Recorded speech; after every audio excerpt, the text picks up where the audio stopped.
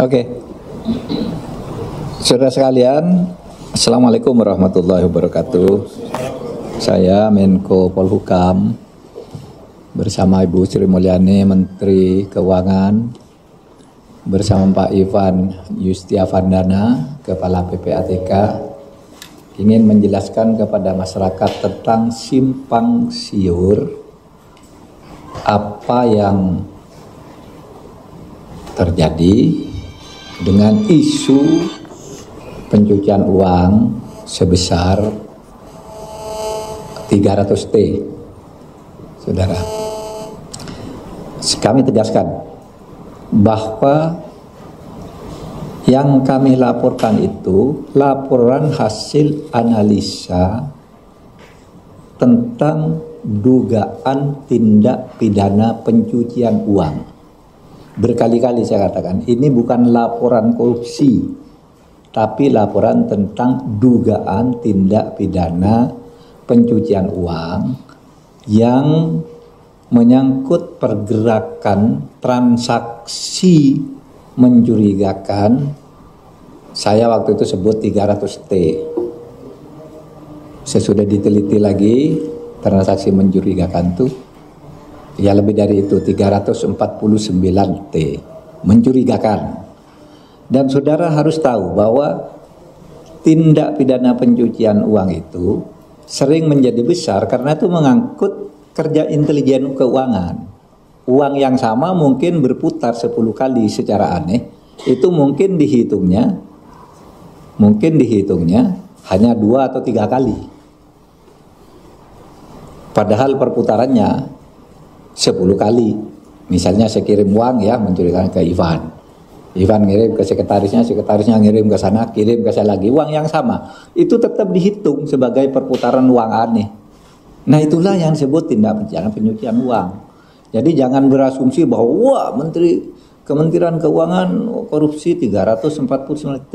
Enggak ini transaksi mencurigakan dan itu banyak juga melibatkan dunia luar orang yang punya sentuhan-sentuhan dengan mungkin orang Kementerian Keuangan.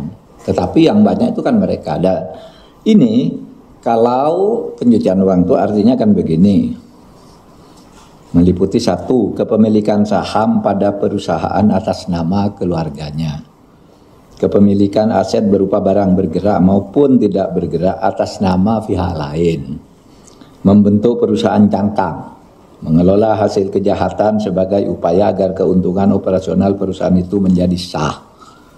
Kemudian menggunakan rekening atas nama orang lain untuk menyimpan hasil kejahatan. Ini saudara, saya korupsi tapi mau cuci uang. Saudara buka rekening atas nama saudara. Berapa? 10 miliar. Tapi ATM-nya diberikan ke saya dengan segala pinnya. Saudara nggak bisa ambil uang itu, saya bisa ambil sewaktu-waktu, tapi tanggung jawab secara akuntansi ada di tangan saudara. Nah itu pencucian uang. Jadi banyak ya. Lalu menyembunyikan harta hasil kejahatan dalam SDB, safe deposit box atau tempat lain. Nah itu semua yang harus dilacak. Oleh sebab itu menjadi besar dan laporan resmi mungkin 56 miliar, tapi kok sesudah dilacak nih pergerakan uangnya ada 500 miliar gitu. Nah itu pencucian uang. Tapi itu sekali lagi itu tidak selalu berkaitan dengan pegawai di Kementerian Keuangan. Itu mungkin yang ngirim siapa, yang ini siapa dan seterusnya seterusnya dan itu bukan uang negara. Nah, saudara sebab itu dari penjelasan itu secara singkat ingin saya sampaikan. Tadi akan disampaikan oleh Bu Sinolani tapi saya ingin menyampaikan kesepahaman kami bersama bahwa yang kita bicarakan itu yang saya dan Pak Ivan BPATK sampaikan dan Bu Simulian juga mengomentari menjawab bahwa ini adalah laporan pencucian uang laporan tindak pidana pencucian uang. Ya. Memang jumlahnya besar. Karena itu tadi menyangkut orang luar, menyangkut tindak pidana di luar tapi ada kaitan dengan dalam. Nah, untuk itu kami tadi bersepakat begini. Satu, Kementerian Keuangan akan melanjutkan untuk menyelesaikan semua LHA. LHA itu laporan hasil analisis yang diduga sebagai tindak pidana pencucian uang dari PPATK baik yang menyangkut pegawai di lingkungan Kementerian Keuangan maupun pihak lain. Seperti yang telah dilakukan oleh Direktorat Jenderal Pajak yang telah berhasil menambah penerimaan negara dari sektor pajak sekitar 7,08 triliun dan dari Direktorat Jenderal Bea Cukai sebesar 1,1 triliun. Jadi misalnya PPATK lapor nih ada kasus Anda kok pajaknya cuma tulis 10 miliar padahal seharusnya 15 miliar. Menteri Keuangan selama ini langsung pakai yang PPATK. Oh ini 15 miliar, dihitung lagi bayar kalau benar. Kalau enggak benar ya ya tidak bayar. Nah, dari hasil tindak lanjut yang dilakukan oleh Menteri Keuangan, Kementerian Keuangan, dua direktorat jenderal ini sudah mencapai 8 1,2 triliun tadi.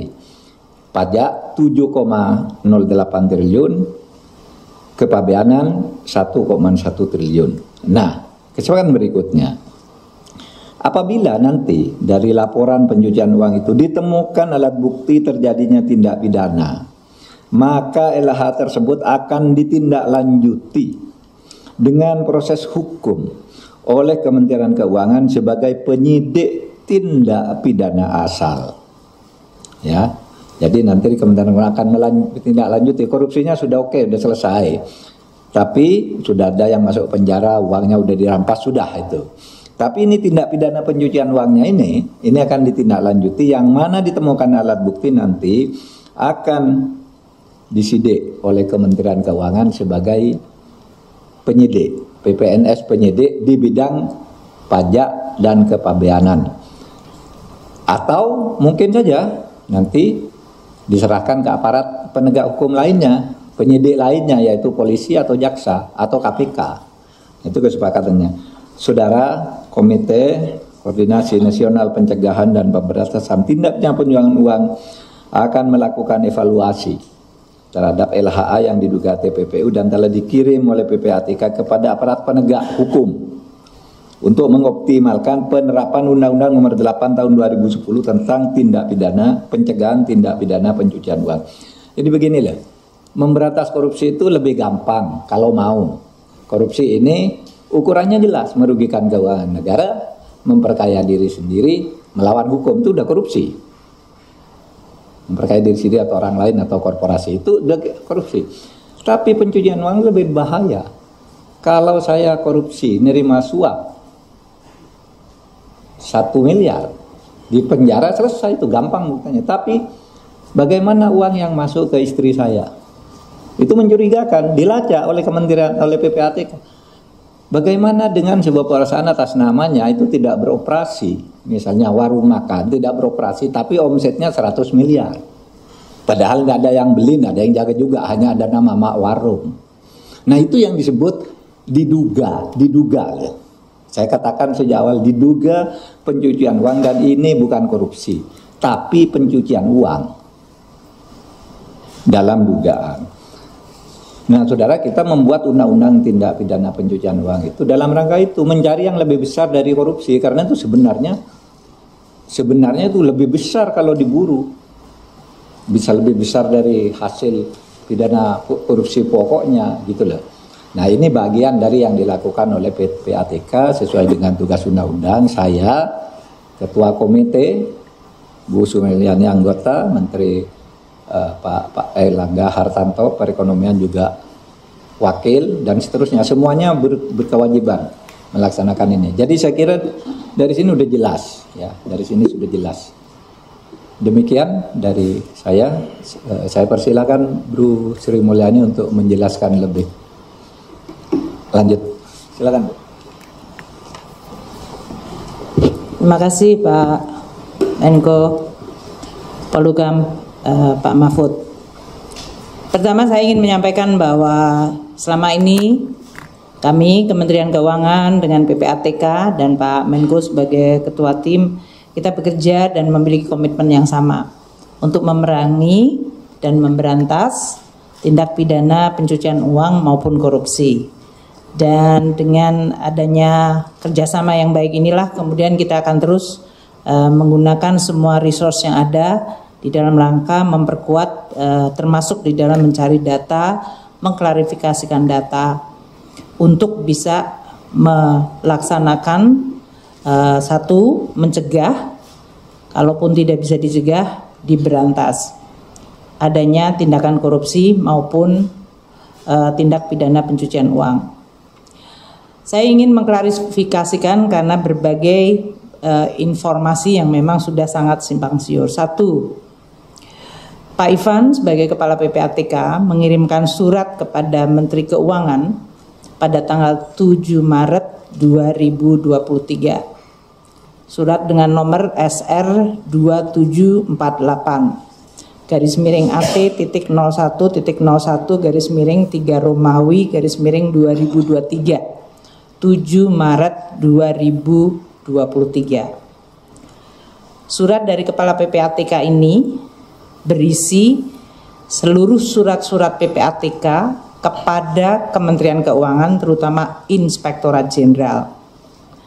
Dari periode 2009 hingga 2023 ada 196 surat.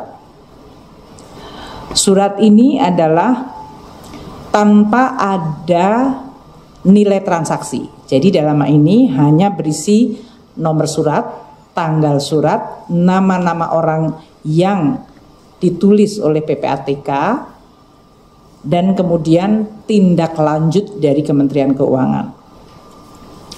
Terhadap surat tersebut, 196 surat, Inspektorat Jenderal dan Kementerian Keuangan sudah melakukan semua langkah. Makanya ini termasuk dari mulai dulu Gayus sampai dengan sekarang ada yang sudah kena sanksi, ada yang kena penjara, ada yang dalam hal ini uh, diturunkan pangkat. Kita menggunakan PP nomor 94 tahun 2010 mengenai ASN.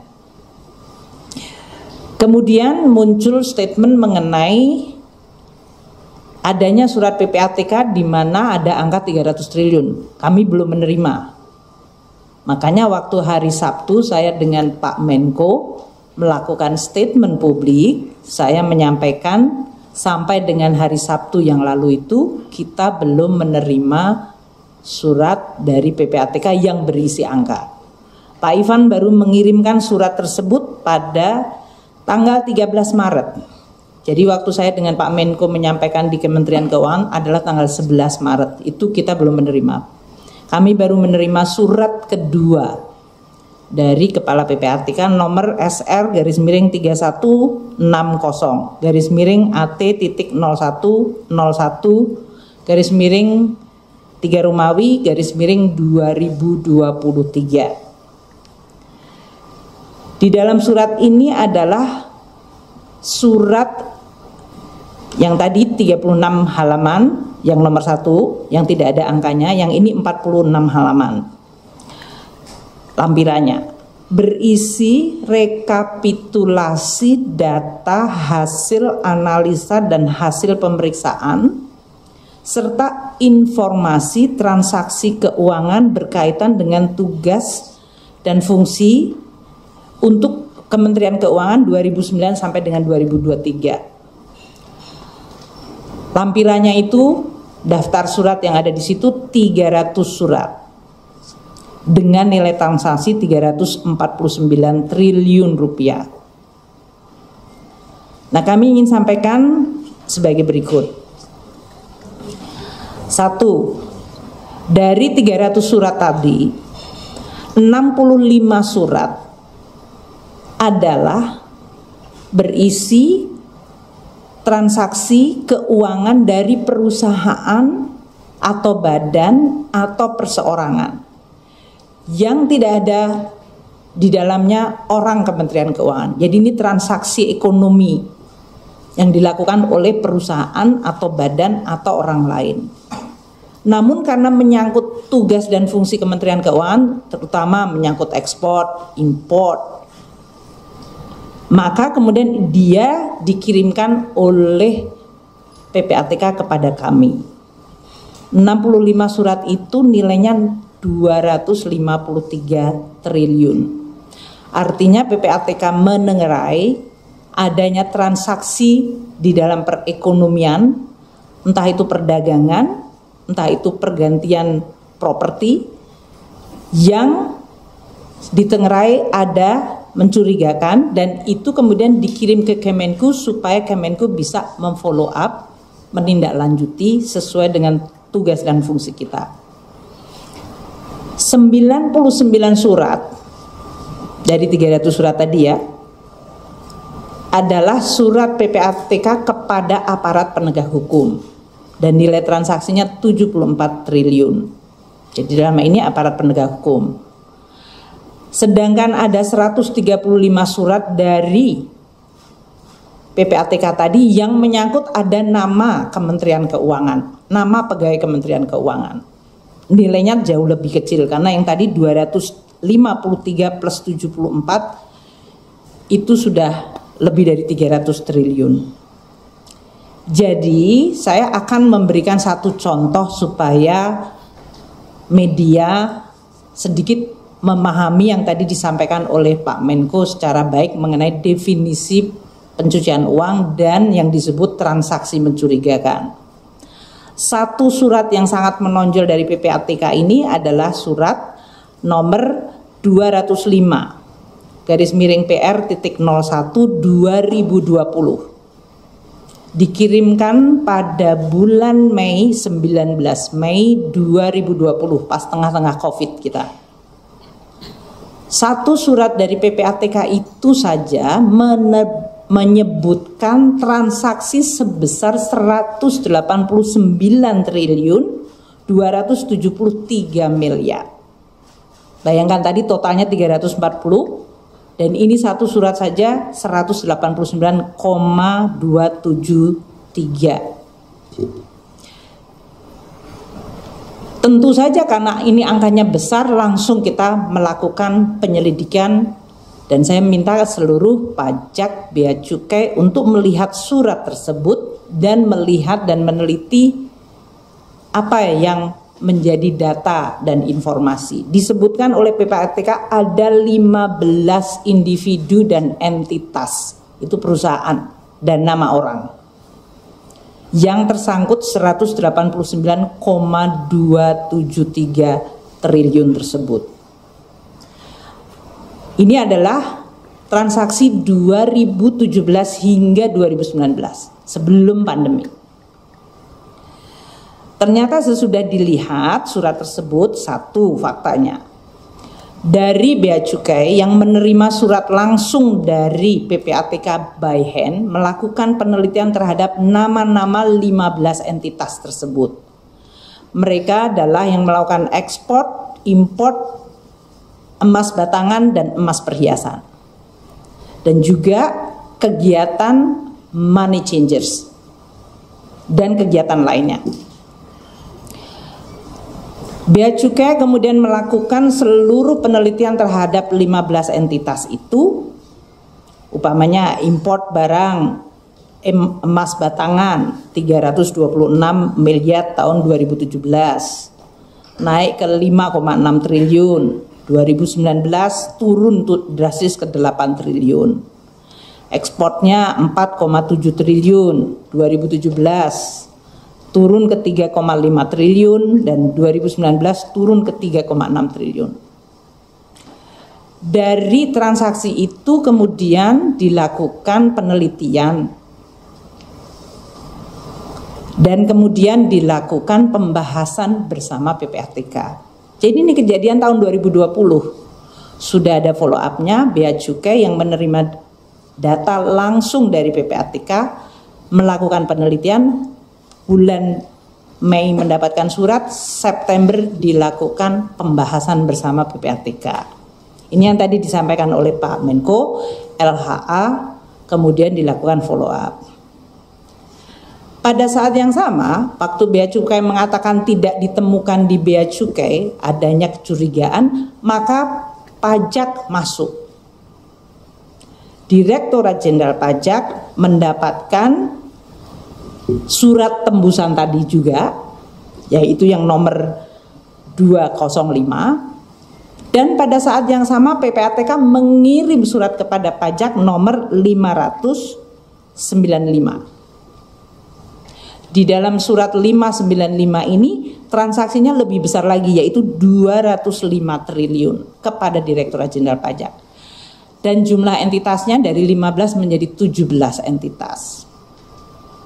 Maka Bea Pajak melakukan juga penelitian dari sisi pajak dari 2017 hingga 2019. Satu, figurnya pakai inisial SB ini di dalam data PPATK disebutkan omsetnya mencapai 8,247 triliun. Data dari SPT pajak adalah 9,68 triliun, lebih besar di pajak daripada yang diberikan oleh PPATK. Itu pun kita tetap menggunakan data PPATK. PPATK tadi 8,2, pajak 9,6 karena si orang ini memiliki saham dan perusahaan di PT BSI, kita meneliti PT BSI yang ada di dalam surat dari PPATK juga. PT BSI ini data PPATK menunjukkan 11,77 triliun. SPT pajaknya menunjukkan ini pajak dari 2017 hingga 19 ya. Saya ulang lagi ya, jadi tiga tahun SPT pajaknya 11,56. Jadi perbedaannya 212 miliar. Itu pun tetap dikejar. Dan kalau memang buktinya nyata, maka si perusahaan itu harus membayar plus denda 100%. Kemudian PT yang ketiga juga sama, PT IKS 2018-2019. PPATK menunjukkan datanya 4,8 triliun, SPT-nya menunjukkan 3,5 triliun. Kemudian ada seseorang yang namanya adalah DY. SPT-nya hanya 38 miliar, tapi PPATK menunjukkan transaksinya mencapai 8 triliun. Nah, perbedaan data ini yang kemudian dipakai oleh Direktorat Jenderal Pajak memanggil kepada yang bersangkutan. Muncul modus bahwa tadi si menggunakan tadi nomor akunnya lima orang yang merupakan karyawannya. Termasuk kalau kita bicara tentang transaksi, ini adalah transaksi money changers. Jadi Anda bisa bayangkan money changers cash in, cash out orang Inilah yang kami sebutkan tadi supaya tidak menimbulkan suatu kesan kepada masyarakat. Kami sangat menghargai data dari PPATK dan pada pada kenyataannya justru PPATK, pajak dan bea cukai bekerja sama secara bersama. Kita namanya jaga darah tripartit di antara ketiga institusi itu untuk saling bertukar informasi dan data di dalam tadi di dalam rangka untuk memerangi dan memberantas tidak hanya korupsi tapi juga tindak pidana pencucian uang. Tadi telah disampaikan oleh Pak Menko bahwa dalam kondisi itu di Kementerian Keuangan Direktorat Jenderal Pajak sudah dilakukan 17 kasus tidak pidana pencucian uang yang tadi menghasilkan 7,88 triliun rupiah penerimaan negara. Dan bea cukai ada 8 kasus tindak pidana pencucian uang yang menghasilkan 1,1 triliun. Nah, surat dari PPATK tersebut yang berkaitan dengan internal Kemenku katakanlah oknum atau pegawai Kemenku dari mulai Gayus dulu disebutkan Gayus itu jumlahnya 1,9 triliun sudah dipenjara.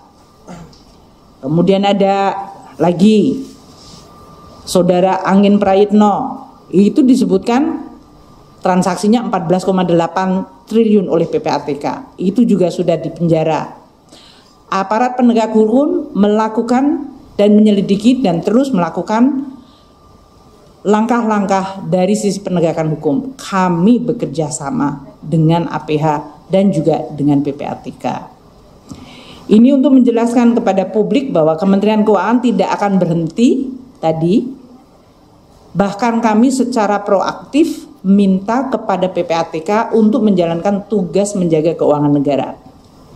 Jadi dalam hal ini sebagian dari surat-surat dari Pak Ivan kepada kita itu sebetulnya adalah surat yang kami mintakan.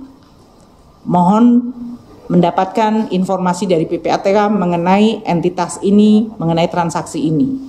Jadi kita yang aktif. Sebagian lagi adalah dari PPATK aktif menyampaikan kepada kami. Jadi inilah kerjasama yang tadi disebutkan tripartit jaga darah dari Direktorat Jenderal Pajak, Bea Cukai yang dua-duanya memiliki PPNS yaitu penyidik pegawai negeri sipil yang tadi disampaikan oleh Pak Menko, kalau ada indikasi tindak pidana asalnya menyangkut tugas dan fungsi dari Kementerian Keuangan, maka akan ditindaklanjuti oleh PPNS di Bea Cukai dan Pajak. Sehingga sama seperti dengan 17 kasus dan 8 kasus tadi kita bisa merecover. Saya berterima kasih kepada Pak Menko yang memberikan perhatian sangat besar kepada kami Kementerian Keuangan untuk meyakinkan bahwa kita terus menjalankan tugas sesuai dengan komitmen kita. Tata kelola yang baik, memerangi korupsi dan memerangi tindak pidana pencucian uang. Seperti tadi disampaikan, apabila ada bukti baru lagi, adanya data baru, kami akan terus menindaklanjuti apakah berhubungan dengan pegawai Kemenku atau tidak, dua-duanya tetap sama. Kalau dia berhubungan dengan pegawai Kemenku, maka kita akan lakukan tindakan tegas sesuai dengan peraturan pegawai negeri yang sudah diatur. Apabila tidak menyangkut kami, tapi itu adalah menyangkut pendapatan negara, kami akan melakukan pengejaran sehingga hak keuangan negara bisa kita jaga. Apabila dia menyangkut korupsi atau yang lain dengan aparat penegak hukum, kami juga akan bekerja dengan aparat penegak hukum. Itu yang kita akan sampaikan kepada seluruh publik. Tentu sebagian dari data-data nanti Pak Ivan bisa menyampaikan, namun tadi yang saya ingin memberikan ilustrasi dari 345 189 hanya satu surat dan saya sudah sampaikan cukup detail bagaimana karakter dari informasi dan penanganan dari bea cukai maupun pajak terhadap informasi PPATK tersebut. Terima kasih Pak Menko dan uh, terima kasih kepada seluruh media. Cukup ya. Ya. Kasih Bu ya. Sampai lagi. Terima kasih banyak. Ya. Saya jawab. Tanya jawab Pak. Tanya jawab. Tanya jawab Pak. Tanya jawab Pak. Tanya jawab Pak.